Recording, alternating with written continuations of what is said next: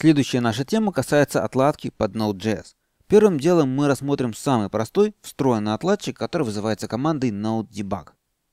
Выглядит это так. Допустим, у нас есть скрипт, например, сервер JS, который упорно глючит, и мы хотели бы остановить его выполнение на некотором моменте, чтобы посмотреть переменные и посмотреть, что происходит. Для этого мы в этом месте ставим дебаггер и запускаем скрипт в режиме отладки. Node debug этот самый скрипт. Никаких модулей для этого ставить не надо.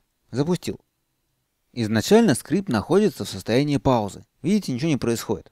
В режиме отладки есть некоторые команды, из которых мне сейчас нужна конт. Конт заставит скрипт продолжить выполнение, и видите, он продолжил и даже вывел в консоль лог здесь что-то.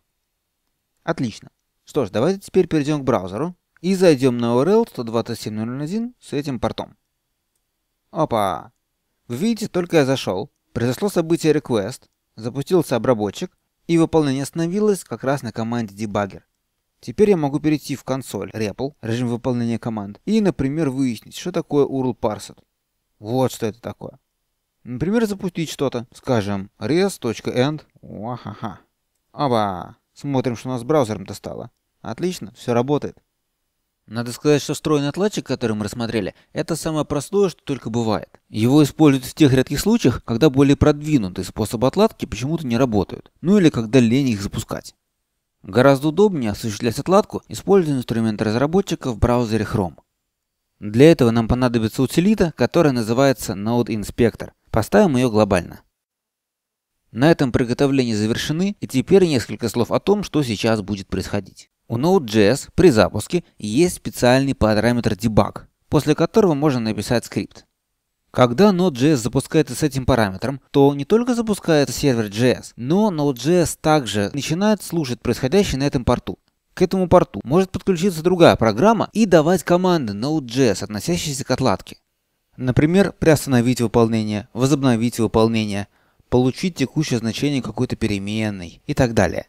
Эти команды выдаются в соответствии со специальным протоколом, который описан в документации к V8. Например, вот вы видите примеры таких команд. Скажем, такая команда означает продолжить выполнение континуа. Или скажем, вот такая команда говорит Node.js вычислить 1 плюс 2. Мы, конечно же, эти команды вручную набирать не будем, хотя могли бы. А используем утилиту Node Inspector, которая как раз будет посылать эти команды, а нам предоставлять красивый веб-интерфейс.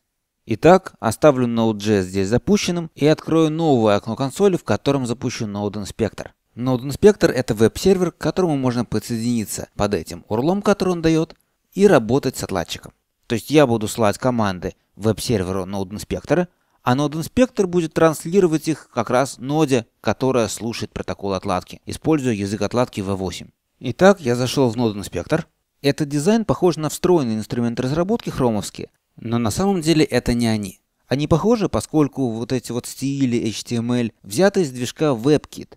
Соответственно, интерфейс очень похож, но на самом деле это всего лишь веб-страница, которую нам отдает Node Inspector. А теперь я зайду в отдельном окошке, чтобы удобно было, на страницу 127.001. Вот.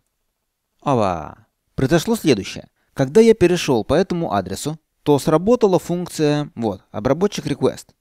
Если бы Node.js был запущен без слагов отладки, то команда debugger была бы проигнорирована, но в нашем случае она сработала. V8 приостановила выполнение JavaScript и послала Node инспектору, который подключен к ноде по этому порту 5858, об этом информацию. Node инспектор ее получил и при помощи протокола WebSocket, с которым мы познакомимся далее, переслал ее в браузер, браузерному JavaScript. Здесь уже на это отреагировал веб-интерфейс и показал мне, что вот тут останов. Этот же веб-интерфейс запросил данные об останове, которым я могу воспользоваться. Видите, ходить тут могу. При этом Node Inspector берет на себя трансляцию моих действий в команды для отладчика V8.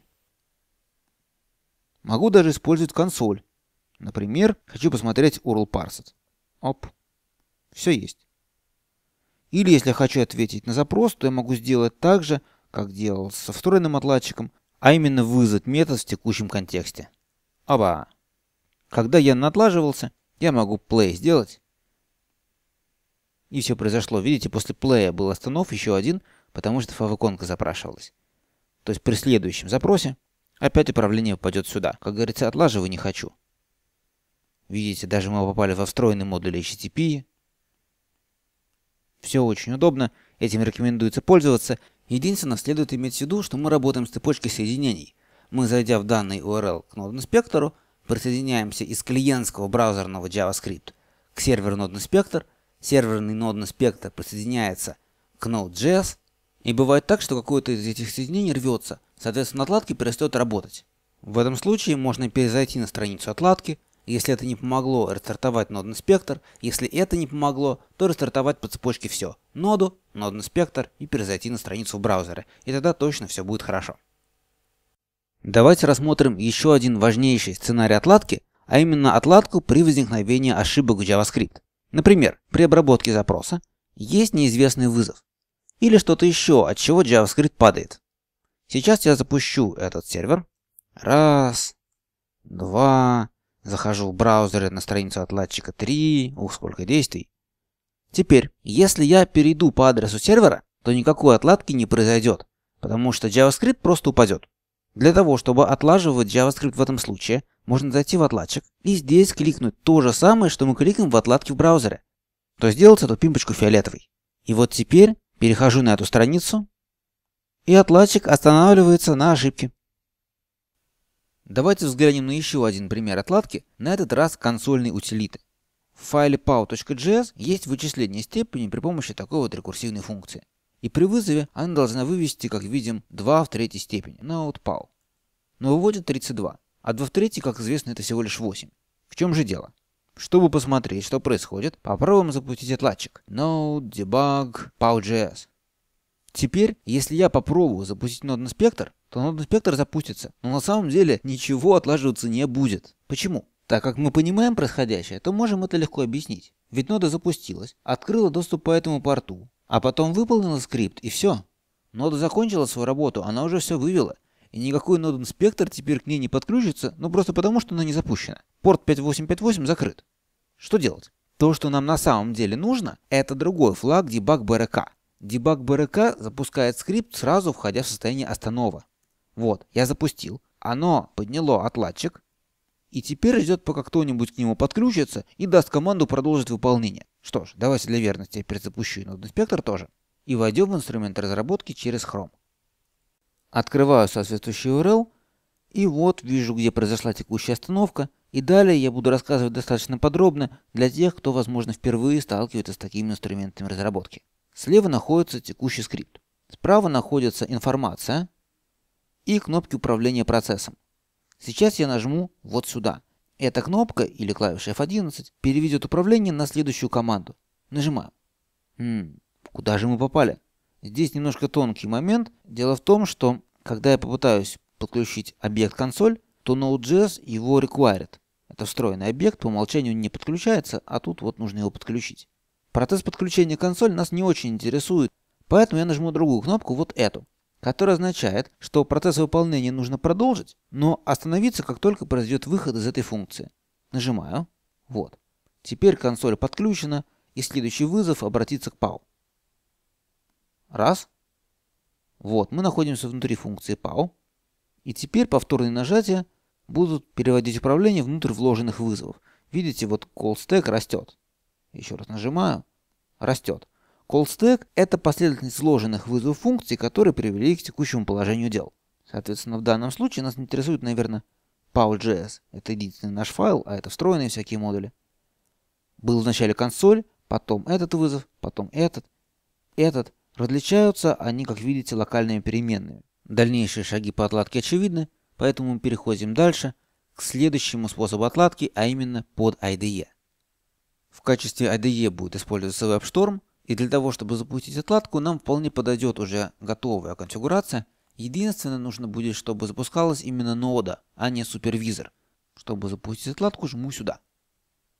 И смотрю в консоли, что у меня получилось. При запуске в режиме отладки WebStorm добавляет к ноду соответствующий параметр debug BRK и указывает ему значение. Это значение это порт, на котором нода должна ожидать подключения отладчика. По умолчанию 5858. Ранее к этому порту подключался нод инспектор, но сейчас к этому порту подключен сам WebStorm. Соответственно, он реализует необходимый интерфейс. И сейчас, если зайду в браузер на этот URL, вот, захожу, то происходит остановка, и здесь я уже могу куда-то ходить, анализировать переменные, смотреть URL Parsed. и так далее, и так далее. Итак, резюме по способам отладки для Node.js. Первый способ – это запуск Node Debug Script. При этом нода тут же приостанавливает выполнение скрипта и переходит в специальный режим консольной отладки, в котором можно получить список команд через help, управлять выполнением скрипта, переходить в режим консоли через REPL. Это работает, но уж больно просто. Хочется какой-то более удобный интерфейс, поэтому в тех случаях, когда это возможно, используется отладка под браузером Chrome через Node Inspector, либо под IDE. Для того, чтобы такая отладка стала возможной, нужно запустить ноду со специальным флагом дефис-дефис debug, либо debug BRK. Debug BRK при этом переведет скрипт в состояние остановки тут же. Если нода запущена с этими флагами, то она дает доступ к встроенному механизму отладки V8. Соответственно, V8 начинает слушать этот порт, по умолчанию 5858, отладчик к нему подключается и может слать команды, которые управляют выполнением, получать текущие переменные и так далее. Для отладки под браузером Chrome в качестве отладчика можно использовать Node Inspector, который с одной стороны подключается к порту ноде и умеет говорить с ней, с другой стороны, он показывает страничку в Chrome и принимает через нее команды. Вместо Chrome могут быть другие браузеры, достаточно современные. Ну а относительно IDE я могу сказать то, что смотря какая у вас IDE, как в ней все сделано, это может быть удобно или неудобно. Лично для меня наиболее безглючным и надежным способом, как правило, является отладка через Chrome. Но для нее нужно запускать Node Inspector.